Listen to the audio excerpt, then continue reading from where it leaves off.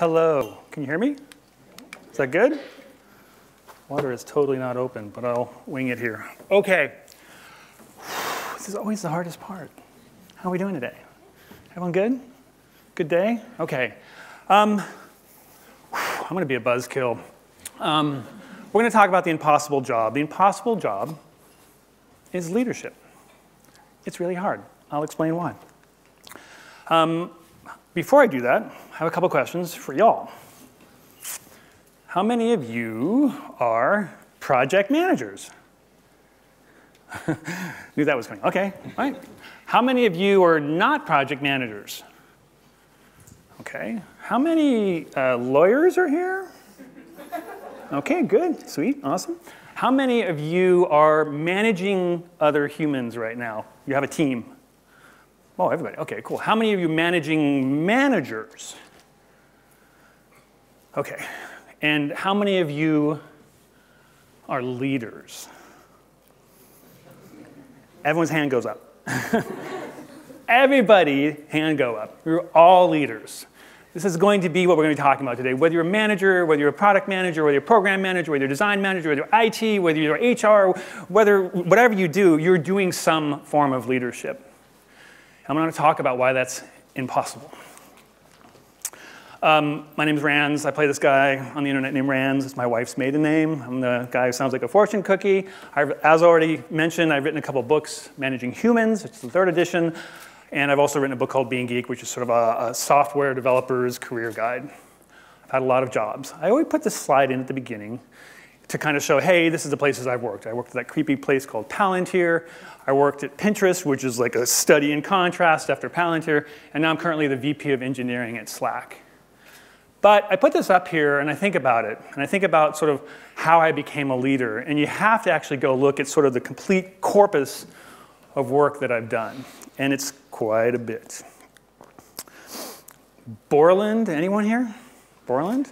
Like four. It's like we're getting smaller and smaller every year. It's gonna be like one guy and me, hi. Netscape, that startup you've never heard of. I was at Apple. I was at the other companies as well. Let me tell you how I became a leader. I was working at Netscape. And um, Tony, my boss, said, hey, can you look after Harrison and Frank? And I'm like, sure. What, what does that mean? He's like, yeah, just uh, set up one-on-ones, see what's going on there. I'm like, sure, okay, I set up one-on-ones. Harrison, how are you doing? Frank, what's going on? And I did this for a while, and we got busier because the company was growing, and lots of things were happening. We were inventing the internet, which was kind of fun. And then finally, I go up to Tony. I'm like, hey, Tony, like we're super busy. There's so much to do. We're like doing a web-based bug tracking system, which was like the first one in the world. And we're busy. I'm like, can we get another person? He's like, yeah. Lopp, Rands, whatever your name is, go create a rec. I'm like, a rec? What's a rec? what does that mean? He's like, go hire another person. I'm like, I can do that? This is how I became a leader. I didn't even know what was going on. And that was the beginning of this long path of learning about leadership. And I've done a lot of talks. I've done a lot of talks about what does it all mean and all these big, huge talks about leadership. True story, true story. Last time I was in this building, I gave a talk with with Mary, and uh, that was the day the, um, the uh, prime minister resigned. that was a pretty quiet crowd. I did that talk, same talk, um, I think four or five months later, whenever it was, the uh, day of the US election. yeah, so we're not doing that talk today. we're not going to do that talk. This talk is about simplification. It's about the simple things around leadership that I've learned during all of these jobs. We're going to be talking about hacks. We're talking about leadership hacks. What is a hack? A hack, this is a term that comes out of MIT, it's a university in Boston, and a hacker is someone who does interesting, creative work at high intensity levels. This applies to anything from writing computer programs to pulling a clever prank that amuses and delights everyone on campus. For example, they built a one-third scale lunar lander on top of the Great Dome there. This was a hack. These are not the kind of hacks we're talking about, but they're, they're, they're genetically related. The hacks that I want to talk about today is via my career of doing this for about three decades. I want to condense small pieces of wisdom that they, they, they pay unexpected high return on time invested. they feel like cheating. Like you do this, you're like, really? This thing happens when I do this? That's amazing. You're going to need them because this job is impossible. This job is impossible. Couple disclaimers. I have two disclaimers. My situation is I'm currently the VP of engineering at Slack. I have about 286 engineers that I work with. Um, I have managers, I have directors, I have managers. Some of these are based on that situation. Some of them may not feel familiar to me, you. Another disclaimer. They're kind of therapy for me. These hacks, these things which are incredibly useful to me, may not apply to you. You may automatically do these things in your, instinctively. So I'm not expecting you to look at each of these and go, you just blew my mind, Rands. This is amazing. Thank you so much. They are, these hacks both accentuate strengths and they help some of my weaknesses. Because this job is impossible. Leadership is super hard. It's incredibly hard. It's incredibly taxing. I used to have hair. it was kind of cool. Why is it so hard? I will tell you why it's hard. There's never enough time. You are greatly outnumbered by chaotic, beautiful snowflakes. There is too much to do, and there is too much to know, and their expectations of you are unattainable. rough gig. This is a rough gig. Project managers, it's even harder. They have to listen to me. I sign the paychecks. I'm the one who decides perform about performance plans. You're in a role, very often, purely of influence. You don't have that leverage of being the manager. This is an impossible job. Why would everyone want to do this? Let me give you some hacks that are going to make this impossible job a little bit easier. There's never enough time. As a leader, part of the gig, I gotta get some water, is that you are exposed to more things. You're in meetings where you try to open up water bottles. it's a function of leadership not going to pour this on the computer.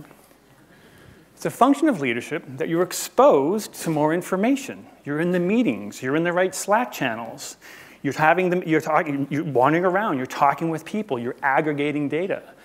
Chances are things are rolling up to you. You're being exposed to more things. There's never enough time to deal with all of the things, with all of these beautiful chaotic snowflakes. So let's talk about the hacks. I want to reset your expectation one more time. These are not world changing, your job is going to be different. These are hacks, these are small bits of wisdom. At Apple, there's this thing. It's called Apple Standard Time. How many of you already know what I mean? What time is the meeting? The meeting's at 2 o'clock.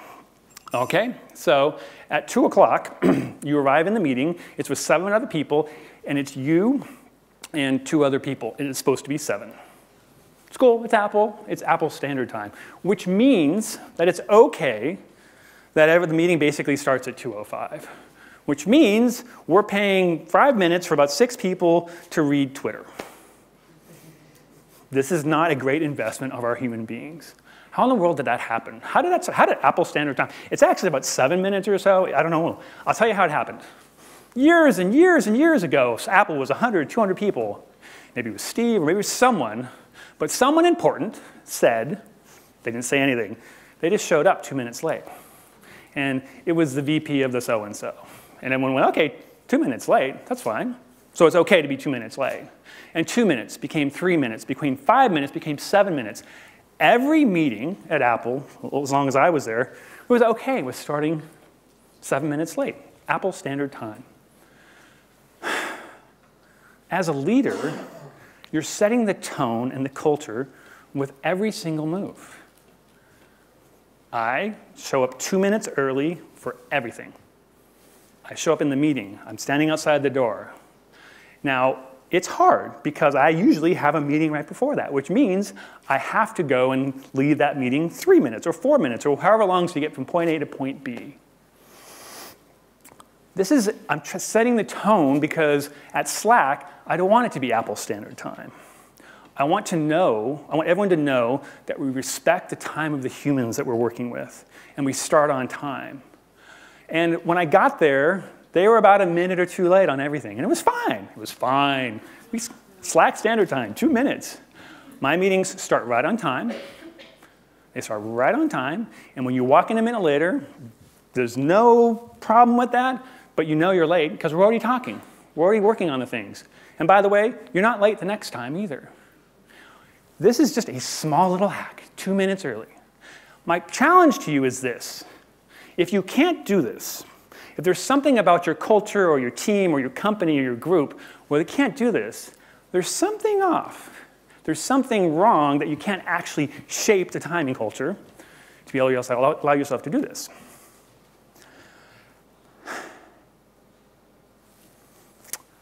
I um, was at Pinterest beforehand. And I got there and I'm like, hello, I'm Rands, Lopp, whatever my name is. And I want to meet all of you. So I set up one-on-ones with every single person in engineering. Seemed like a really good networking move, right? There's 170 of them. My admin's like, got, we got there like 30 or 40 of them, and she's like, you're gonna be done in like five months. You cool with that? And I'm like, no, this is a super bad idea. So I scheduled like one to many and it wasn't working out. The fact of the matter is, as a leader, there is more of them than you. It is not effective to meet them all, but you must be available. You must cultivate the sense of availability because you're a leader. They want to understand what's going on, they want to understand what you think about. So, what I did, and I did this at Slack as soon as I arrived, I got there and I'm like, I want to meet all of you. So every two weeks, for two hours, I have office hours. If any of you would like to come, please sign up. And first week, like no one did, and I kept on saying it, kept on saying it, and now they're full for the next three months. And what I've done is for the folks that really do want to reach out, that really want to talk to me, I'm available. I'm available to actually talk about whatever they want to talk about. These are, other than my one-on-ones, these are the most valuable meetings I have because I, I, Slack's about 800 or so folks right now. There's lots of things going on. We're going like crazy. And it's an early warning system about all sorts of different things.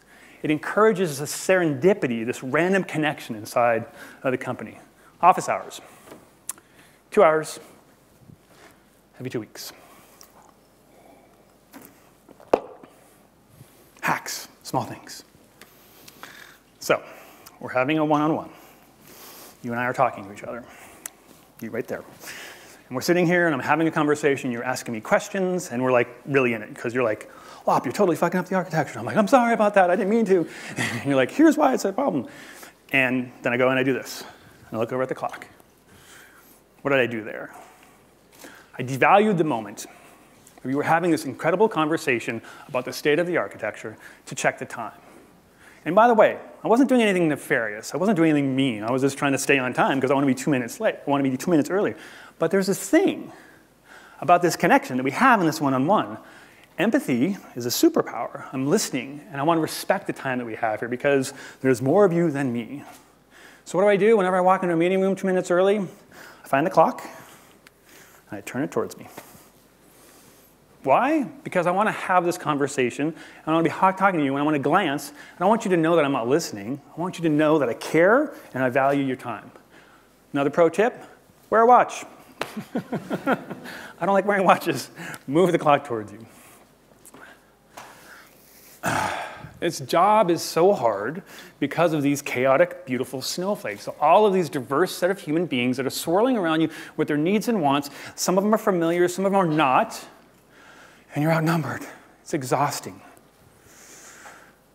I will die someday, and they will probably do a gravestone, and it'll say, Lopp, Rands, whatever, and it'll say, do your one on ones. this is like my thing. One on ones are my thing. This is the most important meeting of the week with your staff, the direct reports, and the people around you in your ecosystem. 30 minutes every week, no matter what. 30 minutes every week, no matter what.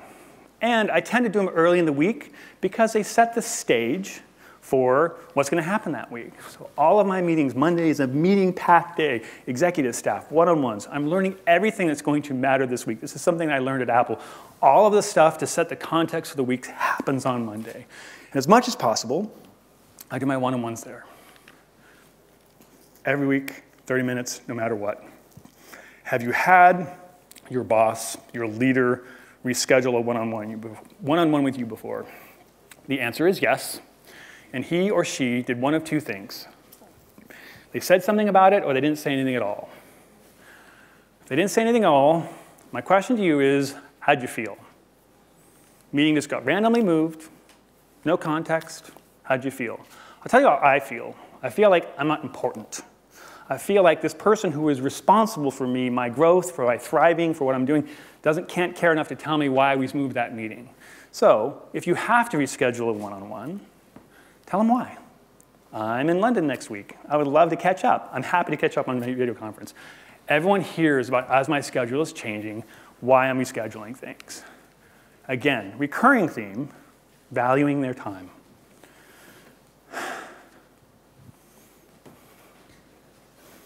They know your name. Why don't you know theirs? All of the people around, it's such a small little hack. I do this thing whenever I started a company. I write, I figure out whatever the, uh, the directory of people is, and I write some PHP script, pull down all the pictures, and then give myself flashcards so I can learn everyone's name. So when I'm walking around, I'm saying, hey, Mary, how's it going today? It's a small little thing that as a leader, that you're acknowledging we have this connection that this matters that we're a team, that we're familiar with each other. Maybe it's not incredible familiarity, but there's some familiarity that, we can, that you know this person's name. Using it. When I'm sitting in a one-on-one in one of these office hours with people I may not see once for every three months, I'm using their name. I'm repeating. I'm saying, hey, Mary, how's it going today? What's telling you? That was really interesting, this thing you said. It's, it sounds like a trick. It's not a trick. It's the, it's the presentation of yourself that you're giving to the rest of your team.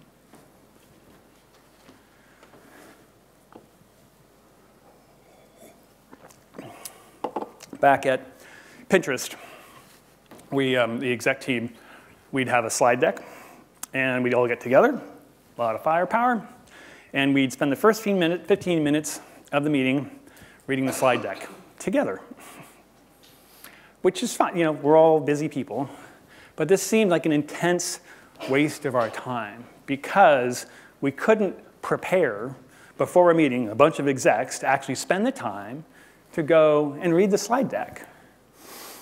Any meeting that I'm walking into, I'm going to prepare either the night before or have time before it. And the one I prepare for when I'm going with a one-on-one or into these office hours, I just do a little bit of research. It takes, takes a couple of minutes. And I find three questions. Because very often people come into one-on-ones and they think it's like a status report. Like, I did these seven things, I didn't do these three, and these are the two that are remaining. I have Jira. I know how it's going. There's a million tools, including Slack, which will tell me the state of what's going on. One-on-ones, staff meetings, are for topics of substance. Things we're going to talk about that are not status. Status doesn't happen in these meetings. And if someone, especially new engineering managers, come in, they have all the status things they want to talk about. I always have three questions. Hey, last time we talked about you being conflict adverse like you are like walk away when someone is kind of like getting that and you're like that's something that we decided mutually we're going to work on. What's something you've done recently to work on that? Let's have a conversation about that.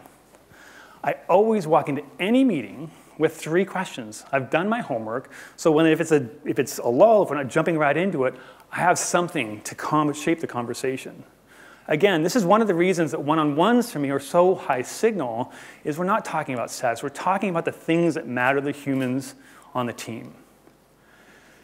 And again, valuing their time. Okay. This is my favorite part of the slides. Rainbows and unicorns. Uh, what? Rainbows and unicorns? What are you talking about? How many of you have played a game called Peggle? Anyone? All right, the six of you are going to know about what's going to happen. You play Peggle, and when you get to this win state, this is the screen that you get, and this is there's going to be some sound here. Okay, so you like playing this thing and get the balls. It's kind of like pachinko, right? It drops down. You actually got to go do this thing, And when you win, this is what happens.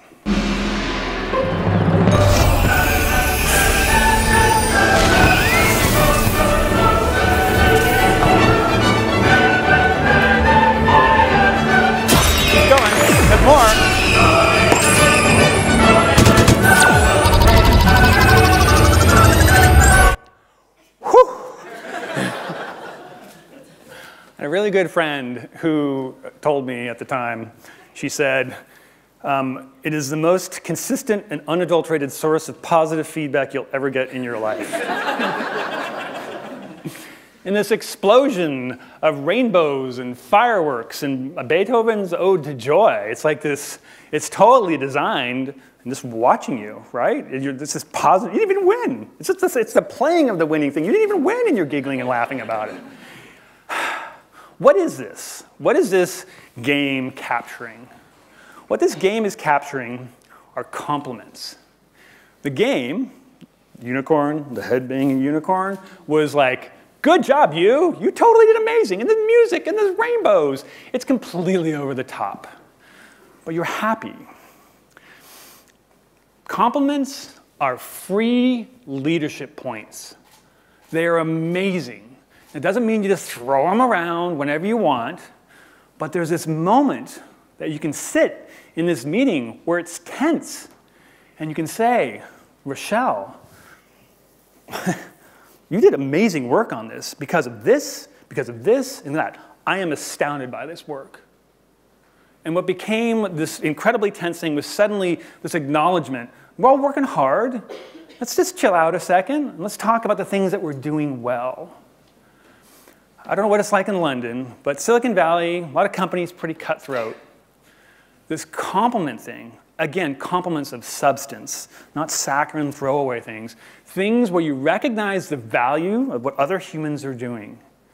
This is amazing. This is something that I try to think every time it's getting strange or like, or when I just see something where I'm like, that's, that's just truly amazing, that work that you did. Acknowledging that, passing that back free leadership points.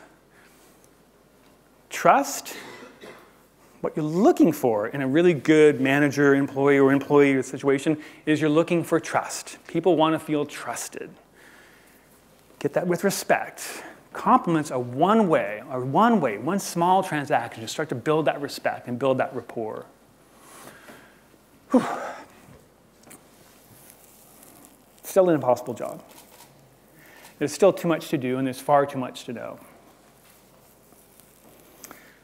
I get in this mood about every three months or so, where I'm, whether it's at work or whether it's at home, where I say, okay, what I'm going to do for the next hour is I'm going to fix every small thing that's in front of me immediately. I'm going to fix it. Let's do it at home. So I get out of bed, and I, next to my bed is a bedstand, and there's a stack of books about this high, of books that I'm never going to read, that have been sitting there for four months. So I go through the list, take it down to two books, put the rest somewhere else where they'll never be read. It took me 45 seconds. And then I go and I try to do 20 of those things in a row. I don't usually get to 20 because I usually get distracted around 14. But what I'm doing is I'm just paying down a little bit of debt in my house. Just like, okay, let's put that away.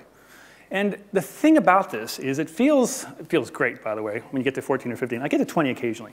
But what you're doing here is you're uh, understanding the value of fixing small things.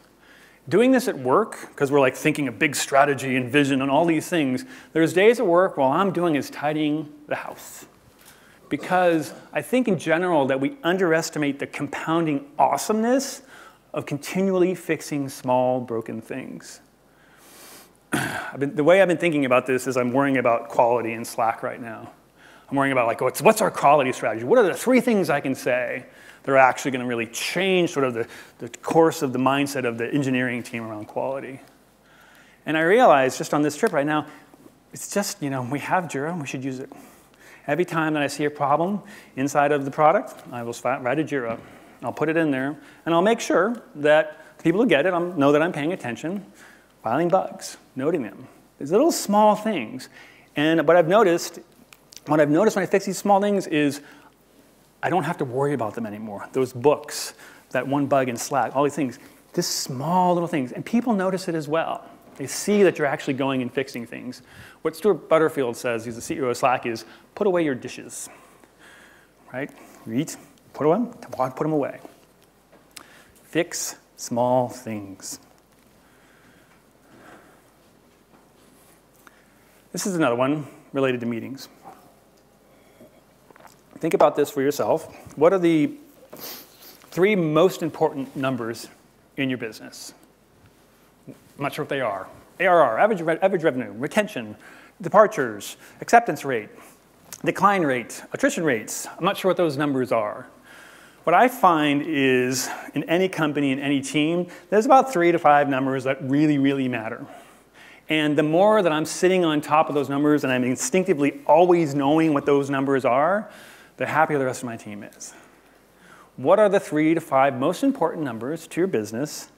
And do you know where they're coming from and how they're actually and why they matter? Intimately and instinctively. As I've been saying a couple of times, we as leaders tend to have more context. We tend to see more of the business because we're in the meetings and we're running around doing all these things. We was, uh, when I was at Pinterest, the, um, the CEO we took meeting notes in the exec staff meeting. So most meetings, someone's taking notes and kind of capturing what happens. And then what he does is he sends it out to exec staff. And one time, he sent it to the entire company. Fortunately, there was, he was like, just mail, mailing list error, right? Fortunately, um, there wasn't anything in there that was super confidential, which was lucky. But the more interesting thing was everyone was like, this is great. This is amazing. Like, now we know what the execs are doing all day, right? and what we did at that point forward for that meeting, all staff meetings, is they're just shared.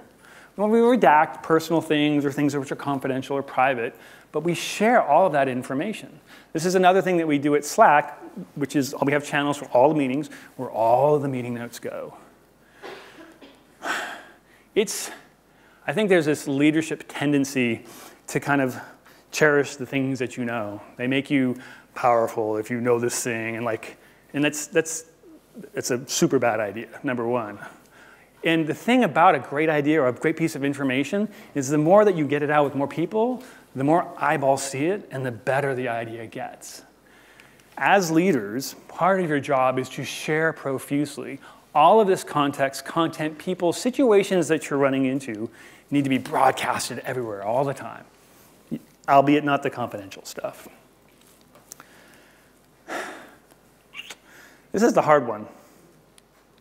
I've been working on this one for a while. I, am not sure if this is true, but I'm going to try it out on you. The thing is, people that have leaders, people that they respect, their expectation, and this is unfair, is that you are the best version of them. Think about that. It's kind of, it's kind of a puzzler. They want you to be everything that they are as their best perfect self. And the problem is, you're just you. But there's a bar here that you want to maintain.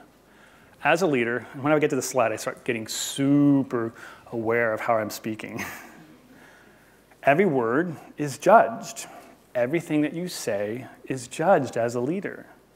You need to know what you're saying before you open your mouth. Most of the big mistakes I've made in my life are freewheeling YOLO things I said on stage that kind of went sideways because I wasn't actually thinking about what I was saying. Speak clearly, speak slowly. Every word will be judged. One of the best classes I sign new engineering managers up and DM or mail me, I'll send it out or I'll send it out to the channel is a speaker training class. This will blow your mind if you haven't had speaker training before. It'll blow your mind how many odd things you do as a person who is speaking in front of people. Get some speaker training. If you're a leader, if you're talking to folks, this is a craft that you want to get really, really good at. And I'll share one that I like a lot in channel. This is one of my go-to um, questions for senior leaders. And it's not novel, you probably heard it before, but it's something that is a really important hack, which is can you admit failure and explain what happened? How did it fail? And I should have a great story here, but I've never failed. I have failed. Um, it's this thing we all have. I probably failed today in a couple of ways. But the question is are you cognizant of what the failure is? Can you explain it? I'm sorry, I screwed this up. I, uh, I sent out this mail about diversity, and I didn't give context to the numbers. So you can just tell your own story from it. And I should have given some insight into these numbers. So I'm sorry. I understand that without that context, that people would derive X, Y, Z, blah, blah, blah, blah. Can you explain it? Can you admit it? And most importantly, can you convey the wisdom that you learned from the failure? This is, again, one of my go-to management questions because when people don't have like that failure in mind, there's something, and I, there's something that I don't trust about that, that they're not as flawed as I am. The, the social justice aspect of this is just a, a no brainer. There's actually, it's like that's the go to reason to have a diverse team. But here's the other thing ideas get better with eyeballs. Ideas get better with diverse eyeballs. We as human beings like to hang out with people who look like us and who agree with us. It's just the way it is. It's more comfortable that way. You need, as a leader, you need to push yourself way out of your comfort zone, especially if you're building software for humans, to pull in a diverse set of ideas, a diverse set of perspectives, a diverse set of values. And by the way, this isn't easy at all. These humans are going to say things that you disagree with. These humans are going to challenge you in a way that the hair on your back your neck is going to stand up because they are different than you. You are different than them. But that's the point. That's the joy, is actually getting that understanding and seeing how you can actually bridge, you can bridge a, a divide between you, a divide in perspective. This is really, really, really, really, really hard. This is a hundred year problem. We've been screwing this up for a long, long time. And we're working really, really hard at Slack on this, and we still have a lot more that we need to do. There's a, uh, there's a natural thing, not natural, there's an unnatural, there's a natural thing which is very not awesome that happens in rapidly growing companies, is that they become political. It's they become, become political because they get big and get siloed, and people start to get walls up. And at that time, and it's happened in every company I've happened, the way that I know it's getting political is the most bizarre stuff starts showing up on my desk. People are like, so, uh, Lopp, I heard you were deer hunting this weekend.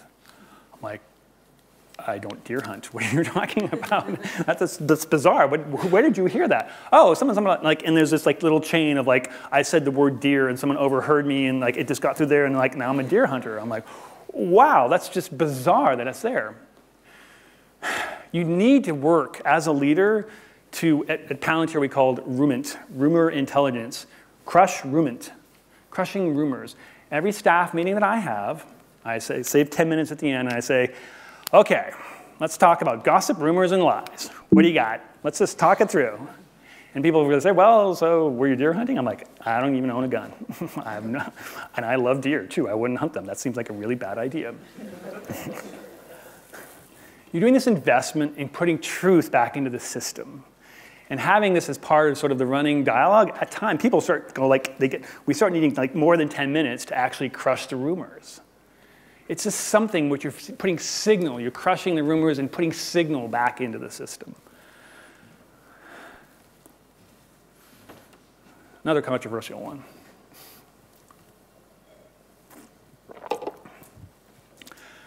Has the sky fallen recently? had one of those days? Is it, is it falling right now? Could be. Um, here's the thing. Part of your job as a leader, and this may be uncomfortable for some of you, is to be smiling while the sky falls. And it's not because you're happy that the sky is falling. It's that as other people are walking around who are fully aware that the sky is falling, they want to understand how we're going to fix it. What are we going to do about it?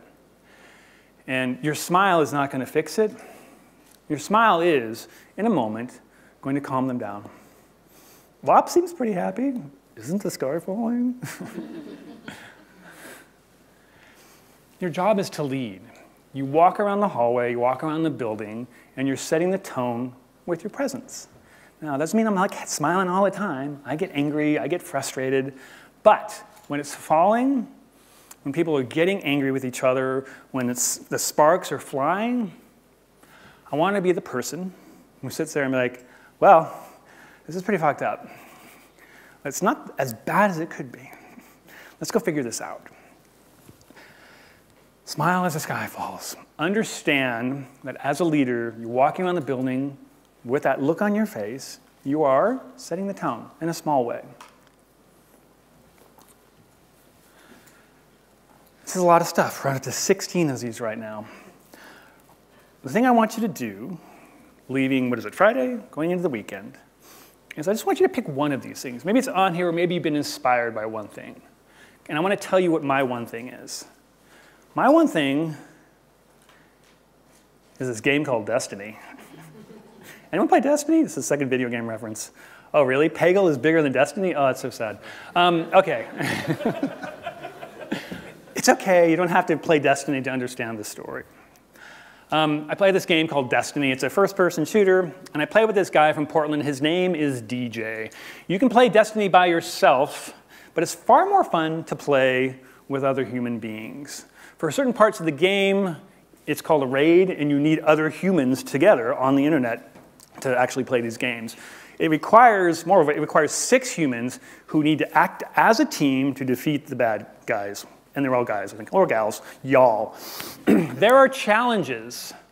There are challenges. You need six people. And the fact of the matter is, the internet is full of colorful people and personalities how are you going to find some folks to do this thing? Raids are complex affairs. Someone needs to lead or everyone dies. It's called a wipe. So someone needs to lead, and it's volunteer leadership.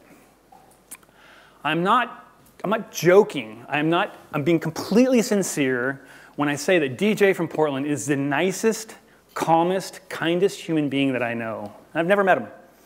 I've never actually met him. I talk about him, I do this slide. Mary's heard this story like three times now. We've spent hours, hundreds of hours doing virtual battles, battles against the digital bad guys, and he's unfailingly kind. Need to leave the raid we've been at for two hours because you want to be with your family? DJ says, no worries, we'll find another person. Having repeated difficulty fulfilling your part of the raid, which is resulting in the team failing, DJ says, no worries. Let me explain how this works didn't mention that you didn't ever play this raid before you started, DJ says, no worries. I love teaching. And he does. Want to practice part of the raid you've never done before? No worries. Let's schedule some time to do that.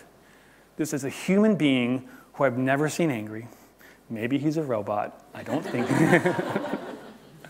he is unfailingly kind.